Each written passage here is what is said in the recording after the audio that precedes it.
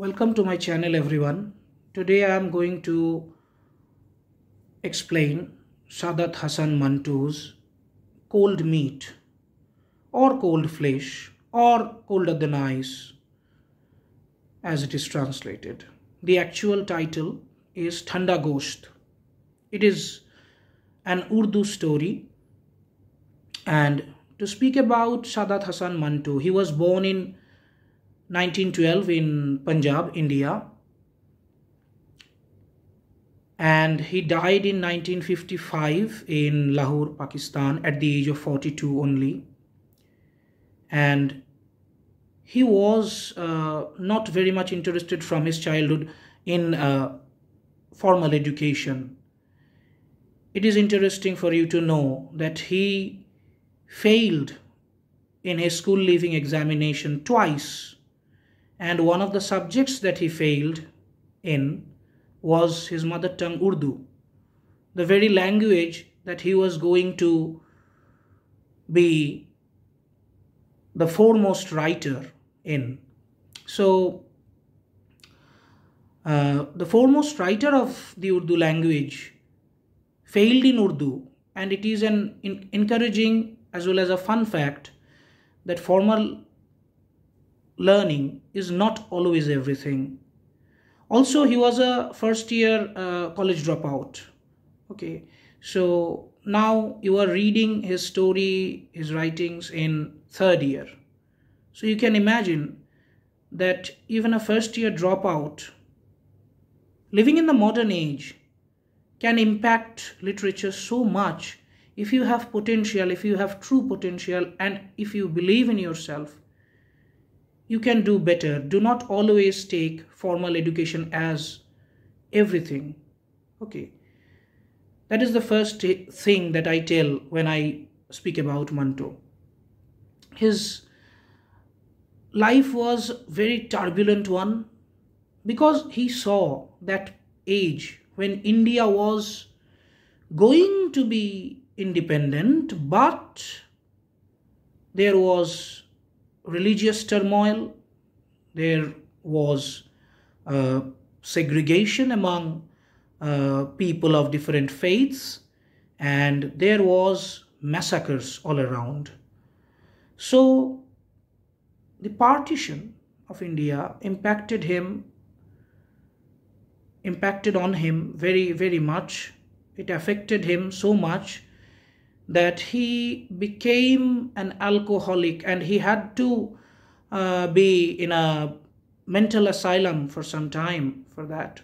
And he died at a very, very early age, that is 42, you know. A very short lifespan he had, and he contributed so much to Urdu literature as well as the literature of the Indian subcontinent, and he is the foremost short story writer in Urdu. Also, without him, we cannot imagine partition literature. He is so important. Most of the famous stories that he wrote and uh, most of his writings that are famous are focused on the Indian partition. Also, there is another fun fact. He was accused of being obscene in his writings. He was charged for three times before independence in India and again for three times after independence in Pakistan. So, in a way, India and Pakistan, or before independence, after independence situations become well, seem to be very similar at least. Anyway that's another fun fact. And the story that you are going to read was charged for the same reason uh, he was accused of you know obscenity being obscene.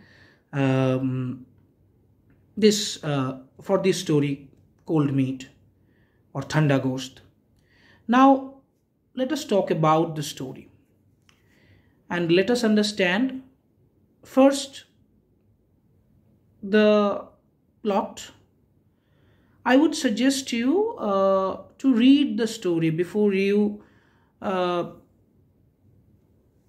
listen to my explanations because that would help you better.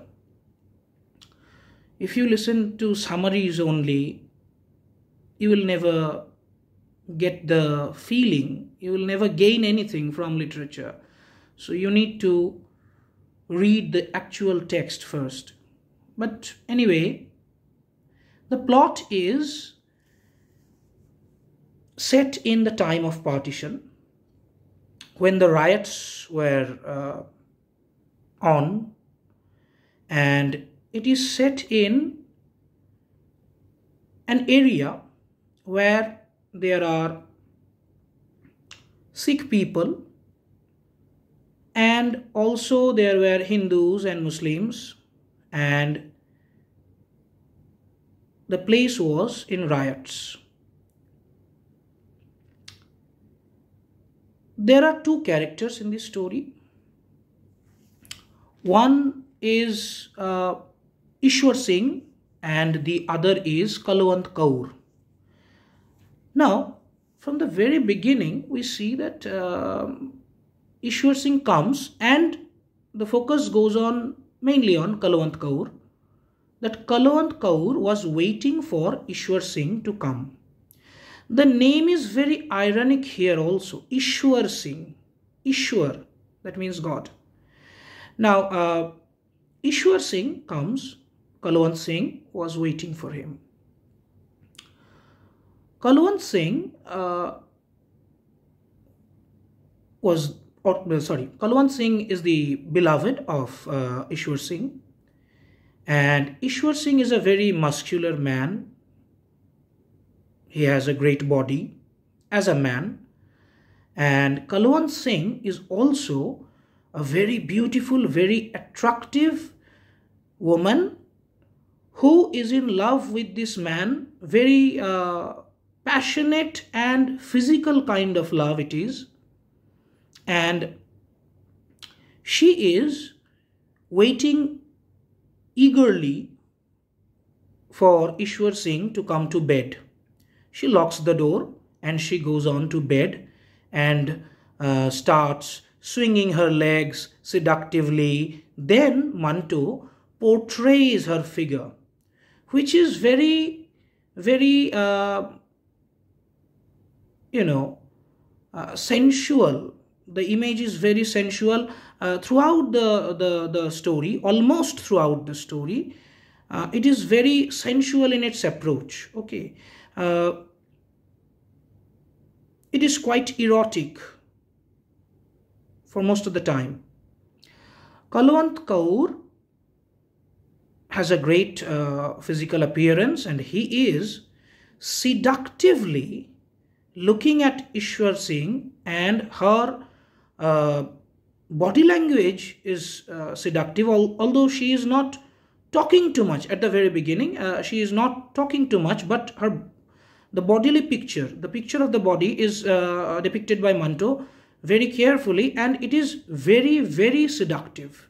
The scene is very erotic. Ishwar singh comes he uh, takes off uh, his uh, turban and takes off his dagger everything he goes on to bed to have a physical relationship with Kalwant Kaur as Kalwant Kaur asks for. Ishwar Singh is not denying that, that invitation directly. Ishwar Singh is also mentally thinking that yes, I am ready for this relation, I am ready, ready for this event now. But he is a little bit absent minded. And there the story actually begins. Kalwant Kaur asks, Why are you being so absent minded. Because Ishwar Singh is taking the foreplay before the intercourse, there is a foreplay, and he is taking the, the foreplay too seriously. He is, he, he is giving too much time to the foreplay. Kalwant Kaur is already, you know, burning with passion.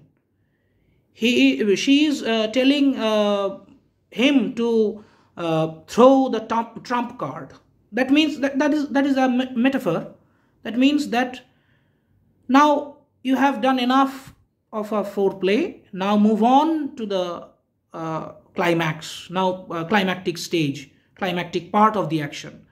Move on to the last stage that is the intercourse itself.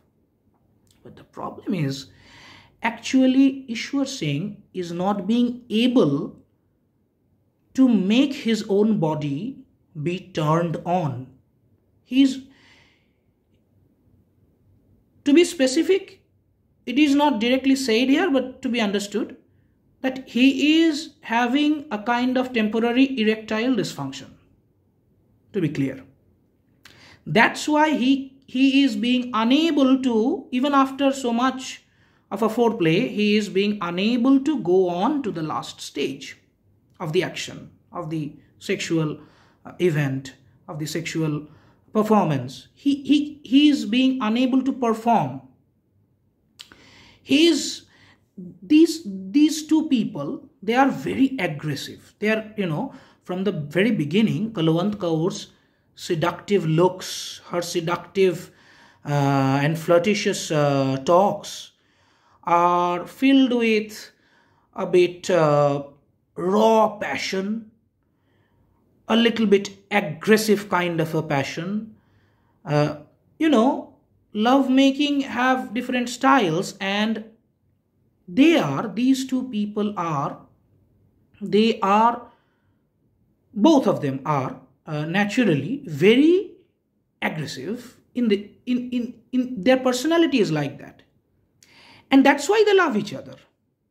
But the problem is in this particular event Ishwar Singh has come from some work. Kalwant Singh was waiting for him. And she expects him to be uh, a bit ferocious or a bit uh, you know aggressive, fierce with his actions, uh, like a bit. That is for her the masculine, the ideal uh, masculinity. But Ishwar Singh has done the foreplay for a long time, but he is not turning on. He cannot throw the trump. He cannot perform the last act. Kalwant Singh, eh, sorry, Kalwant Kaur gets enraged. She has been turned on. She was almost turned on before Ishwar Singh came. She was almost turned on. She was expecting him. She was uh, eagerly waiting for him and he came and then the foreplay. So she got really turned on, but at this moment, Ishwar Singh was unable to satisfy her. Now, that was the big problem for Kalwant Kaur. Naturally, because physically she was getting dissatisfied, number one, and mentally it struck her that why a man I know for long that he can perform well in bed why a man I know that how he performs is being unable to perform. Her language becomes dirty and attacking. She asks, Who's that bitch? Who's that bitch that sucked you dry? That is the language. That means that she doubts or she is almost sure about that there must be another woman with whom Ishwar Singh has got attached without her notice. And that woman is so attractive or uh, you know in some way so much more uh, seductive than uh, Kalwant Kaur that Ishwar Singh has got satisfied with that woman so much that he is not being able to be turned on with this woman now, Kalwant Kaur. She is suspecting that there is another woman who has made him so, you know, the level of expectation for the man became so high that he is not being turned on seeing or having a uh, even after having a foreplay with Kalwant Kaur, he is not being able to turn on, turned on. That's why uh, she got very angry, and uh, she asks, "Who is that bitch?" and etc. And first of all, Ishwar Singh says, "Nobody, nobody." That is also very important. I will explain why. The dagger is important. The sensual images throughout the beginning of the uh, uh, beginning and the middle of the story is important. And then her questioning and the the answer nobody it was nobody. That is also important. But after asking a lot, Kalwant Kaur understands that there must be something wrong with this man, this man is lying, and Kalwant Kaur suddenly takes the dagger, which is of Ishwar Singh, which Ishwar Singh has come with, and takes she takes the dagger and she stabs him fatally he is going to die, but for the moment, he is not dead, he is just going to die. He is having a lot of pain, suffering from a lot of pain, but he is talking still. And then he explains what happened to him. He says that Kalwant Kaur I love you. But the problem is, this is the time of riots, and I took the opportunity. I went to the city, that is, you know, where riot is going, and I, with this very dagger that you stabbed me, I killed a whole family. Except there was a girl of 1617, a girl who was very beautiful. I was going to kill her when I thought that no. He uses the exact words like, uh, I have Kalwant Kaur, I have the beautiful uh, Kalwant Kaur for every day, but let's, uh, this is a different kind of fruit. And let's uh, this is a beautiful fruit. And let's uh, take the taste of this fruit for today. That was the kind of language he uses. Now this fruit image is also important. I will explain why. Then he tells that he took the girl the girl was according to him unconscious of something he took the girl because he didn't touch the girl before uh, killing the other members of the family. The whole family was killed. He was actually, his intention was to loot the family. Okay, to loot the house. And he killed all the members of the family. He was going to kill the girl, but the girl was so beautiful that he thought of raping her, violating her physically. Now, he took that girl, the girl's uh, unconscious body, and went a little bit distance uh, went for a little bit distance and there she uh, there he he uh, kept the body and thought that there is no use of um, doing a foreplay i will just violate her as i like her. Like to violate or something. Then he violated her. But the problem is after having that intercourse, the girl was still not moving. And then, after, you know, uh, trying to wake her up or something like that. He understood the girl was long dead. Her flesh was colder than ice. And from that moment, you know, the story doesn't explain, but you have understood that from that moment, he, is, he, he has been shocked. Now, the last line comes. Ishwar Singh has explained this and uh, says that Jani, give me your hand.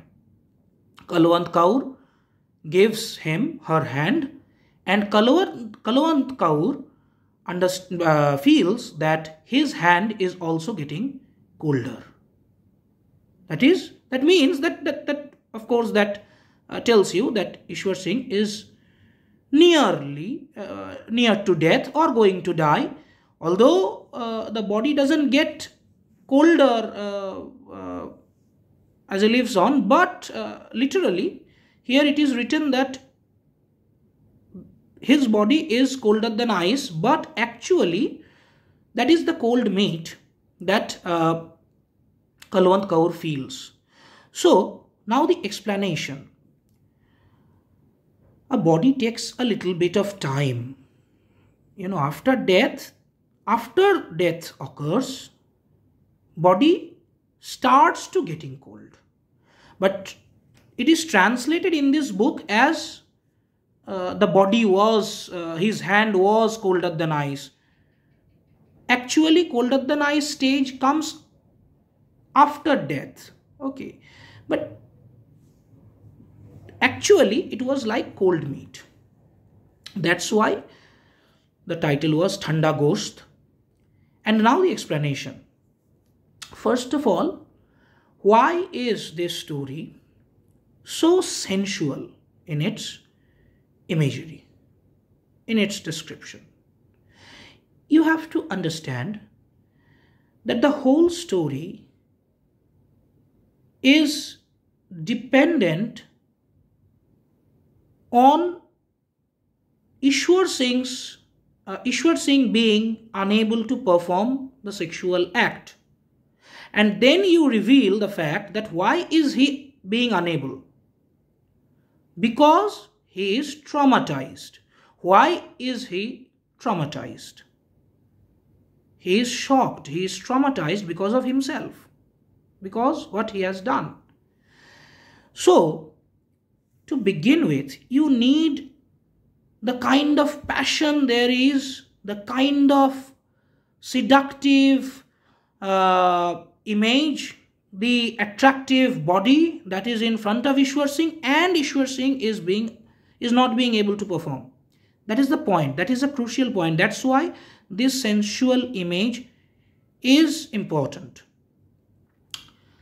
Without this uh, sensual imagery, he, I mean Manto, could not have got the reader's attention and could not have made us understand that what opportunity Ishwar Singh had, what kind of uh, availability of uh, passionate sex he had, and the importance of his being unable to perform would have been would have not been understood.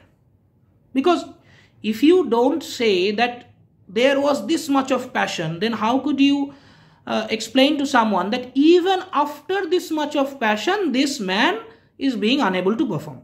You have to mention that that much of th that amount of uh, um, sensual uh, the setting. You have to you have to explain that. And then you can only you can you can uh, uh, make your uh, reader um, being astonished that I am reading this story and I am uh, feeling uh, the, the, the environment. But this man, he is habituated with this woman. He is not being able to. Why? The curiosity comes. And then you go to the end of the story and you find the cause. The cause is not explained. Of course, it is literature. You have to go deep into the story and you have to understand why. I'll come to this point. That is the main idea of this, the central theme of this story. Okay, I'll come to this point. Next, there is a particular dagger. Ishwar Singh has come with the dagger. He is a Sikh. It is, I mean, uh, Sikhs can have kripan or something with them. Maybe this is translated as a dagger, but maybe it is a kripan or something like that. It was with him, and it was the uh, dagger with which he killed that whole family. Now he has come with this dagger, and this dagger kills him. He is getting killed in the hand of his lover, his beloved, beloved uh, woman. Why? Again, another point. Why? Because Kalwant Kaur has got angry. She is an aggressive kind of a woman who wants aggressive uh, sexual relationship, who wants a, a very muscular man. Is physically very, she is physically very strong and she, she wants that strength. So, you know, her psychology is very clear and when she gets angry and the dagger is uh, near at, the, at, at her uh, hand it is natural that she takes that and she stabs him because she has got enough suspicion that this man is lying to her she is angry that who is that woman again here comes another thing that he says nobody, it was nobody. Actually, at the end of the story, we understand why this is seriously nobody because no woman or no quote unquote bitch did suck him dry. Because actually, the girl he was trying to rape, or he had raped the dead body of the girl, the girl was dead. So it was nobody. Nobody did it to him. Actually, now we come to the central concern. Actually, he did it to himself.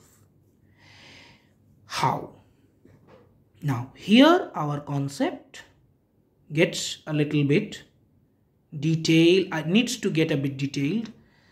We need to understand a little bit of uh, partition. Partition as I as I told uh, in the previous uh, video or videos uh, introductory videos to partition literature I told you that partition was done in the name of religious differences and you see there is a philosophy that believes that man or mankind, I mean, man in general, every human being, have an inherent quality of goodness in them. They only become bad when the situation becomes bad. That is one philosophy. Also, when the modern time, the modern world showed us the world war and everything, the riots here in this country, the the the um,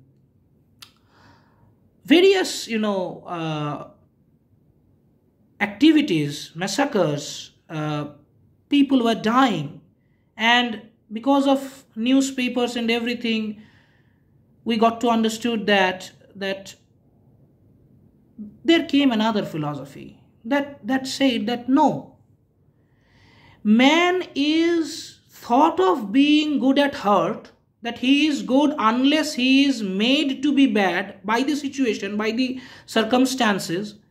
But actually, no, this is wrong. Man is inherently bad. He just wants to look civilized because there is law and order, and if I do that bad act what will the others uh, talk about me and etc that kind of fear.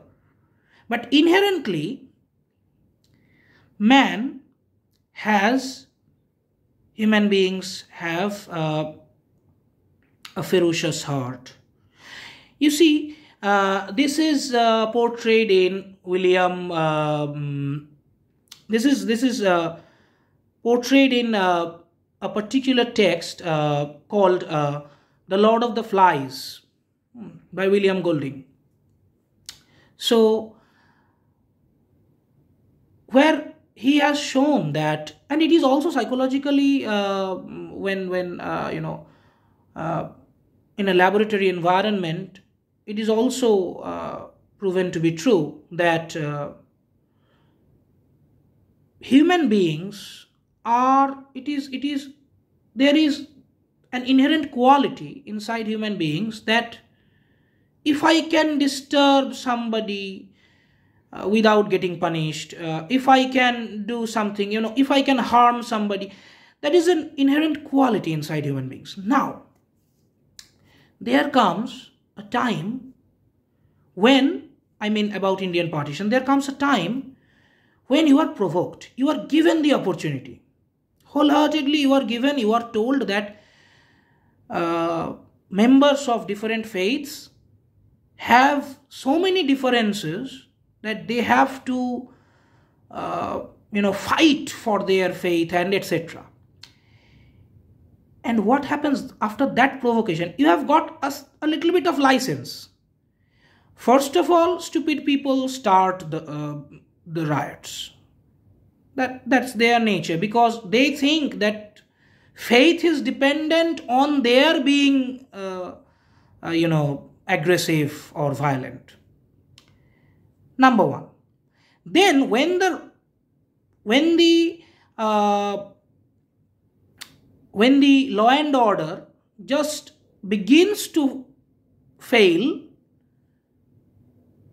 many people they begin to take the opportunity that I can do some crime in this moment. I have some desires.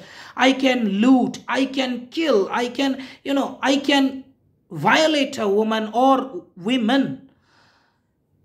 This kind of idea, this kind of devil is always inside man, but it comes out. Now, in the name of faith, in the name of protecting my faith, I am turning into a criminal.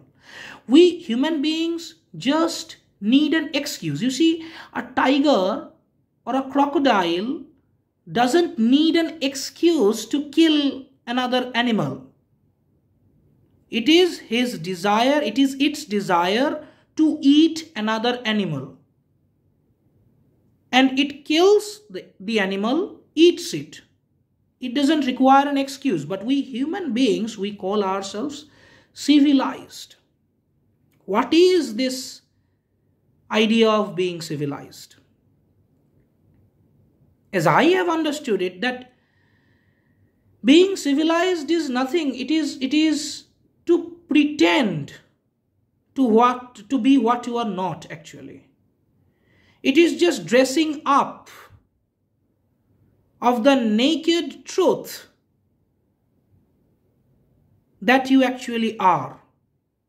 We actually are. We are, no, no animal on earth is more violent than human beings. And human beings call themselves civilized animals. Think of that.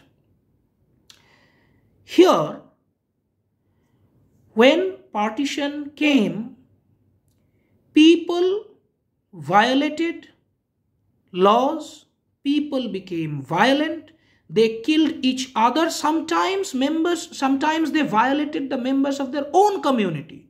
It didn't matter to them. Actually, the community issue is the beginning point. Community issue is the beginning point. It starts violence. But once you become violent, you just kill and kill and kill. You, you, you just become a bloodsucker, a bloodthirsty animal. you don't care for any rule in your life because law and order is not there available. So you see, there is no referee watching me making a foul. Why can't I foul? Why can't I make a foul? I will make one foul, then two fouls, then I will go on. If there is no referee. Man seem to be, man seems to be, man looks like they are civil, uh, he is civilized because there is a neighborhood, there is a society that will talk about me. There is law, there is order, there is a long term, uh, you know, uh, a long term uh, time that I have passed as a, as, a, as a child and as a teenager when I was taught moral lessons, etc., that becomes, uh, that, that makes a bit of conscience in my head. These things restrain us from acting in an uncivilized manner. But when these walls fall down, then I understand that there is no referee, there is no one looking at me, everyone is crazy, and I take the opportunity as everyone is. So, what I become? I become less of a human being, at least not a civilized human being anymore. Ishwar Singh has taken the opportunity. Similarly, he wanted to loot, he wanted to, you know, because everyone is everyone was killing everyone.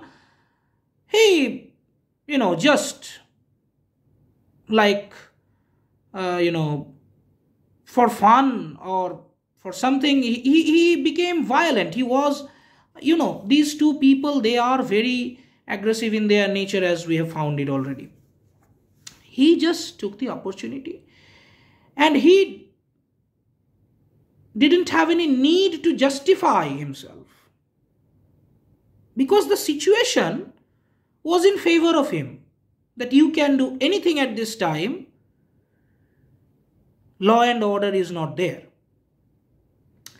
So he killed all the members and he was intending or he did rape he did violate a woman or her body at least there is another point why in such violations, why in such violence, uh, sorry, um, violent periods, why always women get uh, humiliated? Why? That is another point. And it is because the patriarchal society has always given uh, men the confidence that you can do anything. Anything means anything because you are the strength. You, man means strength because man is physically stronger. The patriarchal society has given that confidence in man, number one. And number two, religion divides people. We all know that, although we don't want to accept the truth because, you know, so it is the placebo of the masses. So naturally, religion divides people. Naturally, when in the name of religious faith you have got an excuse to be violent. Violence means to insult anybody that is in front of you in the most humiliating way. Now that anybody will win if he is stronger than you. If he is not stronger than you, then you have a chance. So Ishwar Singh has the dagger. The family cannot defend. The family, they, the all, all the members of the family get killed because Ishwar Singh has the dagger. The dagger is a symbol I have already told now, that dagger and also Ishwar Singh is a man. Just like the dagger is stronger or the dagger is an instrument that Ishwar Singh has and the family doesn't have. That's why the, the family gets killed. Uh, at the same time, Ishwar Singh is a man bred and brought up in a patriarchal society. All the societies are, you know, this kind of uh, mentality is common all around the globe whenever war starts, whenever a riot starts, whenever there is opportunity, always women are humiliated by men. The question is why? Because man thinks that I have power and he has always objectified women just as the image of the fruit the Lucius fruit that I have a Lucius fruit named Kalwant Kaur. I take the taste of that fruit every day, but this is a different taste here. Let's take it. That kind of mentality, commodifying, you know, objectifying women and using women, violating women in a way to prove the sentiment of the other people Suppose I belong to a community A or a country A. This country is having a war with country B. Country A, whatever it tells, whatever is in its constitution, it doesn't matter. It is patriarchal at its core. Country B is also patriarchal with another kind of a, a face wash uh, being used. Uh, a kind of facade. Okay. Every society every country we know that that every man of every country thinks that i am stronger and because i am stronger than woman woman is an object that is uh, that is always under my control. It is an object under my control. And if country A goes to war with country B or community A goes into a riot with community B,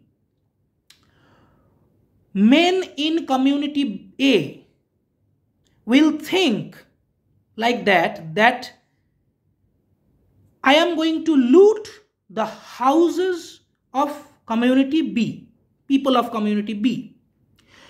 Looting means snatching them of their snatching them of the property, snatching the properties of those people. If a patriarchal society always, as I have mentioned, objectifies women, then women are always psychologically being thought of as a property. If I violate a woman of the opposite community or, or my opponent or my enemy or the other country, whatever, then I can insult or humiliate that community in the most, you know, um, heinous way. Plus the pleasure of being violent.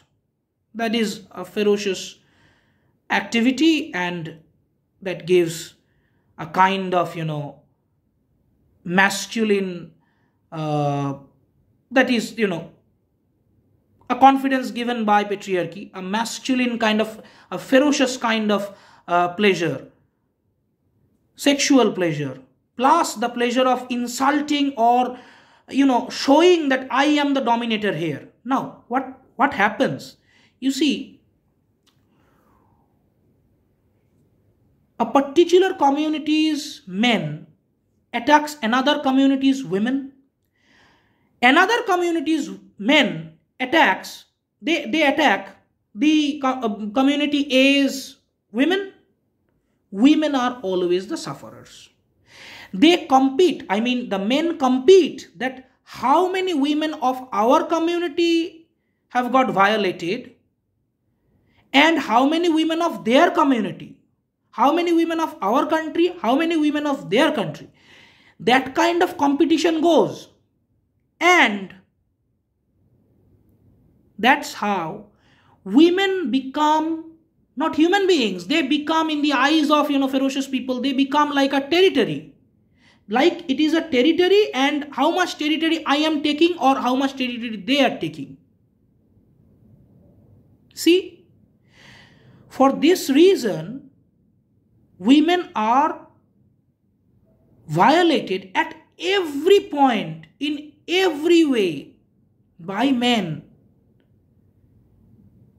And after that, they have the excuse that I am doing it for my faith. I am doing it to protect my, uh, you know, religion and my rights, etc., etc., etc. I am being violent because my situation has made me so, etc. No, the violence, the the the affinity towards violence is inside your heart. You just need an, needed an excuse. Or if you say that I am such a believer, then you are just being stupid. That you are being moved by provocative speeches and you are participating in or beginning a riot, then you are being stupid.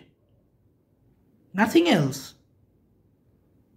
And if you look at stupid people doing stupid things and you uh, you you you take it as if the situation is uh, so gross that it makes me uh, to be violent towards the people who are weaker than me, who are vulnerable, who do not have a dagger to defend uh, themselves, but I have a dagger, let's kill them. That kind of mentality, you see, is here. But why is he traumatized? That is our concern here at the very last uh, point of this story. He is, he decided that I am going to be violent. I am going to loot, loot. I am uh, going to kill. He killed. And he killed five or six people and uh, he was feeling no remorse about that. Because inside his head, he was actually that much violent. Then he dreamed of violating this woman. Fine. He dreamed of that. He violated. But when he found out an unexpected twist in the plot that he has violated a dead body, there is, as I have told you, there is a kind of, a, a little bit of human uh, civilized uh, or, uh, you know, being civilized, there is a kind of a, a bit morality is left because you are taught since childhood that you should do this you shouldn't do that etc etc and you think of yourself that yes i desire this i desire that but the society doesn't accept i can't do it. Now the riots are there so i can do it. You accept. You have an image of yourself that i can do this much of crime but when the crimes turns out to be beyond your expectations and you see I was turned on by a dead body? I didn't expect that. I had an an an an um, physical relationship with a dead body. I didn't dream of that. What kind of a man I have descended to? Who am I? That kind of question comes to your head even after killing, even after looting, even after dreaming of raping a woman, he was not thinking of all these things. The moral compunction did not, you know, act. But when the unexpected twist came to his life, it was an invisible mirror. He was looking at himself that what kind of a man I have turned out to be.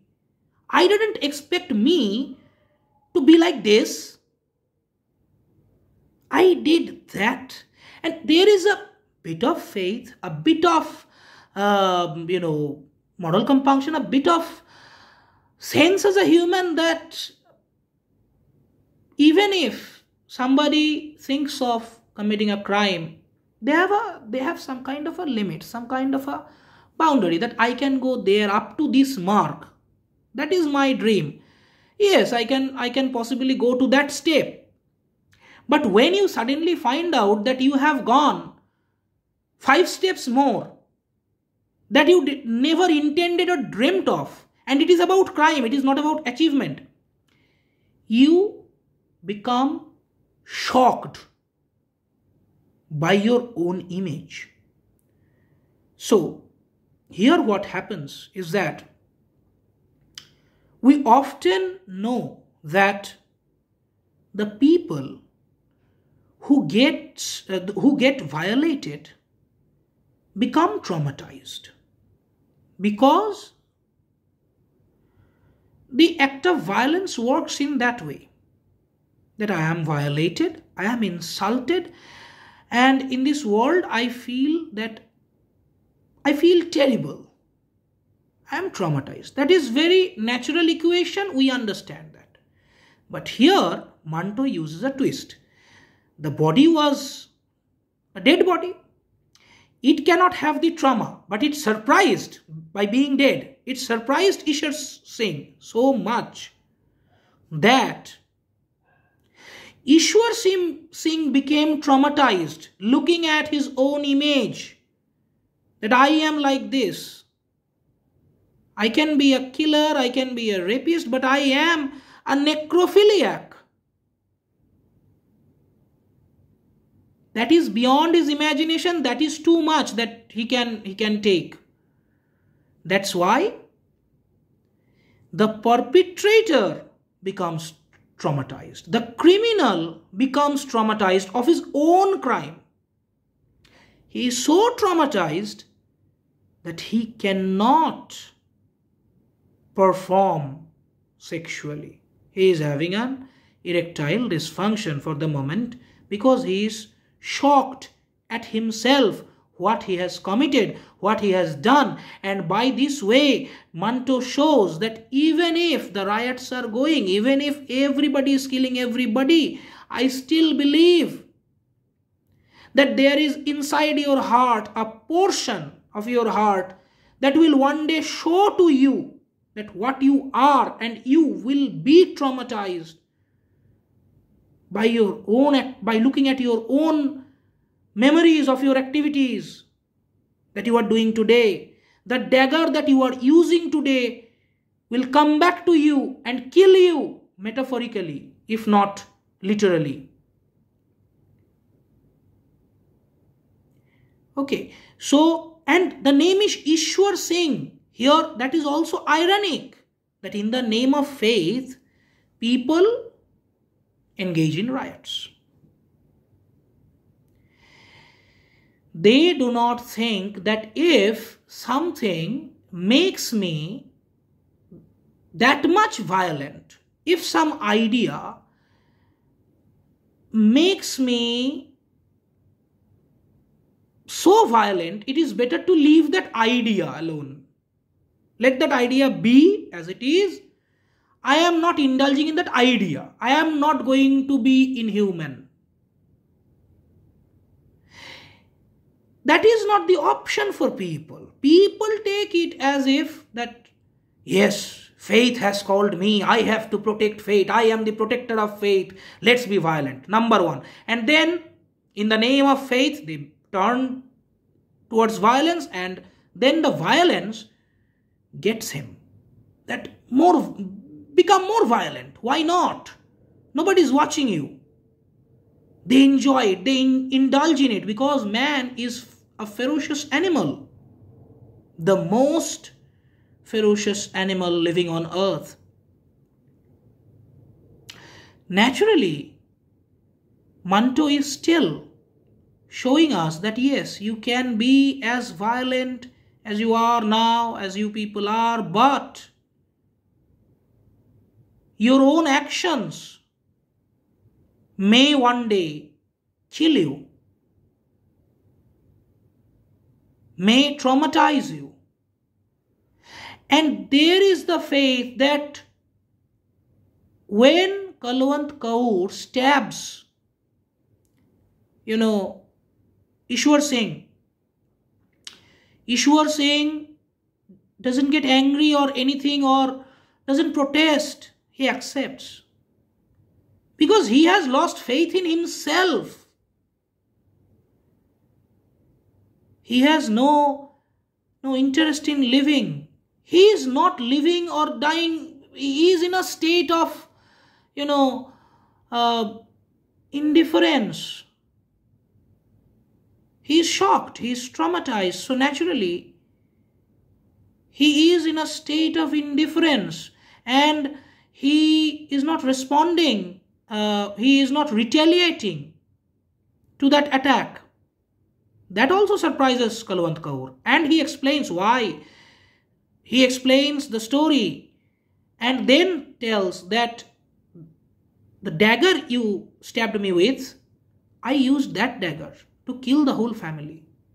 So, in a way, he explains it to himself and to Kalwant and to us that the that the dagger that I used against other people has come back to me. And this is Manto's cold meat, Thanda Gosht, where Manto has presented that men can be violent. They can have, you know, some people have aggressive sexual activities. It is an understanding between them. Both of them like that and they can have that. That is no point here. But two people who are of that kind, among them, one man is not being able. Why? Because being attracted to that aggressiveness, he has committed a crime of a level that he never imagined and that he cannot imagine even now that he has committed that. And it has traumatized him, it has, in a way, metaphorically paralyzed his abilities. It has paralyzed him, his abilities. He has become, he, he has become incapacitated by his own activity as a result of his own activity, as a result of the trauma that he has got by looking at his own image. Okay, and there Manto teaches us that the violence somehow you you may think that the uh, if I become violent the trauma and the, every insult, every humiliation, the trauma will affect the people who are violated. But no, human brain may work in different ways. And if you keep violating, at a point, there is a certain point, you will cross the limit and you will be horrified looking at your own image. That is the central idea of this essay. Sorry, this uh, short story. So, if this video has helped you, like, share and subscribe. And if you have questions, if you have uh, any um, request that uh, to make any uh, other video on any other topic, write in the comment section. That's it for today. Thank you.